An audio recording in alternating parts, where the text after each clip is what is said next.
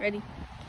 All right, so we got this young buck right here, and a lot of times people ask about the recalls. I like using the whistle for the recall because it's a consistent tone, and they can hear this from pretty far away. So how we introduce the whistle is I whistle and mark the behavior when he pays attention, and I'm gonna use my motion to draw him into me. So you can see there, he's sniffing the little girl right here. Yes, good boy. When he gets his attention, you wanna mark that behavior. This is what I want you to do. So we'll let him get distracted again.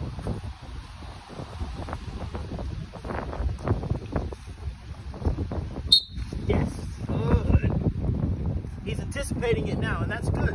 You want the dog to want to work with you. A dog that's engaged with you doesn't want to go run off.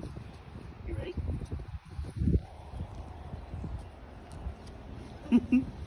he knows every time he sniffs something, he's gonna get that recall.